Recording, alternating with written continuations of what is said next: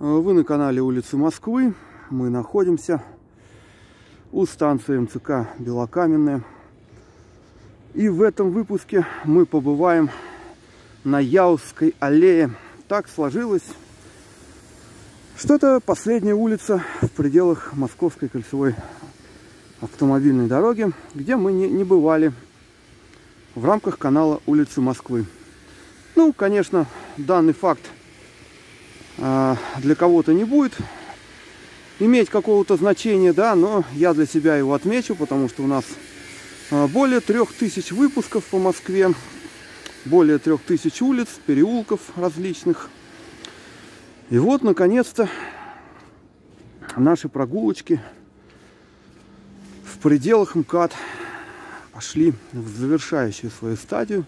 Это не значит, что их больше не будет. А это значит, что сейчас уже не остается непосещенных нами улиц. Ну ладно, лирики. Что касается самой Яузской аллеи, ее протяженность составляет полтора километра и проходит она между ЖД-платформой Яуза Ярославского направления и станцией МЦК Белокаменная. Вот у нас вход. Это станция с самым минимальным пассажиропотоком в Москве среди всех станций внеуличного транспорта. Вот. Ну, не знаю насчет монорельса, все-таки это уже такое. Он превратился больше в экскурсионный транспорт, нерегулярный. Вот. Ну, станция находится среди парка Лосиный остров, поэтому данный факт неудивителен. Мы, конечно, отправимся с этой станции. Вот сейчас приехала ласточка. Видим одного человечка на платформе. Вот. А что касается вот Яузской аллеи, она известна также под названиями улица 6 верста, улица 6 километр и проектируемый проезд 1105.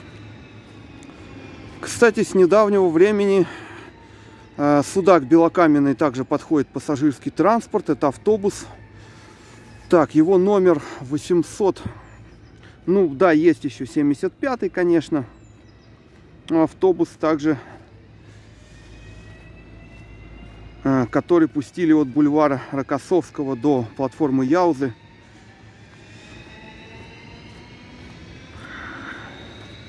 Так, или, или их опять поменяли тут. Я, я сейчас смотрю, короче. Меня показывает только 7, только этот 75 который к Сокольникам идет. Интересно. Сейчас посмотрим. Да, да, да, сейчас 75 сделали, потому что в очередной раз пере, переиначили маршрутную сеть. За всем, за всем не успеваешь следить. Вот он как раз стоит сейчас там на круге. Вот. Ну, если говорить э, вот совсем на чистоту, да,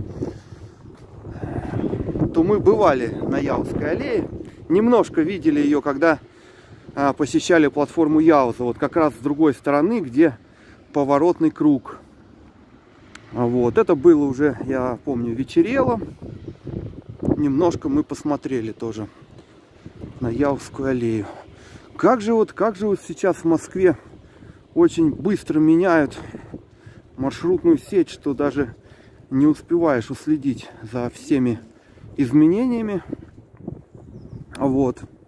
Кстати, э, кстати, с другой стороны от э, железной дороги строится хордовая автомагистраль, северо-восточная хорда.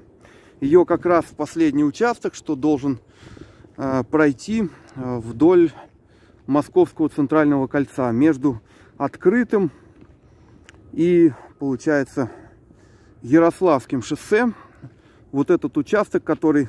Ну, там еще есть участки у ботанического сада, которые сейчас возводятся тоже. Вот, остановка станция Белокаменная. Вот. Пустой здесь круг. Ну, а тут сюда-то никому не надо. Что тут делать-то особенно? Вот такая станция. Вот посмотрели окрестности. Ну, если В следующем выпуске, наверное, поедем от Белокаменной. Вот. Это, кстати, станция одна из немногих станций на МЦК, которая располагается именно на том же месте, где она и существовала исторически, и имеет тоже название. А так уже, конечно, сейчас а, станции, когда на МЦК запущена была пассажирская инфраструктура, они сейчас а, в тех местах, где они необходимы. Та же вот площадь Гагарина, Ленинский проспект. Раньше там была станция Канатчикова, но она располагалась где ТЭЦ, вот где ближе к Крымской. Ну, она и сейчас есть, собственно. Вот, но она не имеет пассажирской инфраструктуры. Та же станция Крымская, например, сооружена на пересечении с Севастопольским проспектом. Тоже там, где э, генерируется пассажиропоток. Но вот здесь вот, вот здесь вот как такового пассажиропотока, наверное, и нету, но существовала станция изначально построена, построена как э, сортировочная, там для ну, технических нужд. Формировки составов, там отстоя вагонов. То есть здесь никогда не было какого-то крупного населенного пункта или места, которое бы притягивало пассажиропоток. Вот. Ну, какая-то маневровая, безусловно, работа присутствует.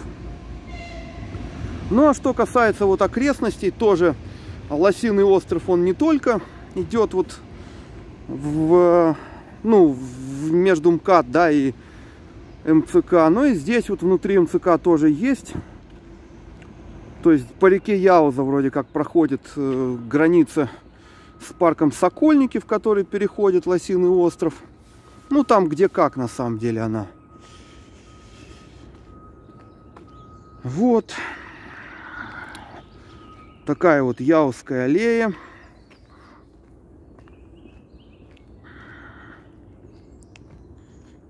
Есть различные медицинские учреждения, там СНИ, туберкулеза, например. Ну вот дальше это будет туда, к платформе Яуза, ближе.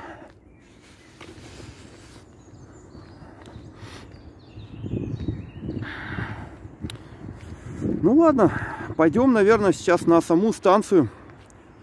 А данный выпуск будем завершать.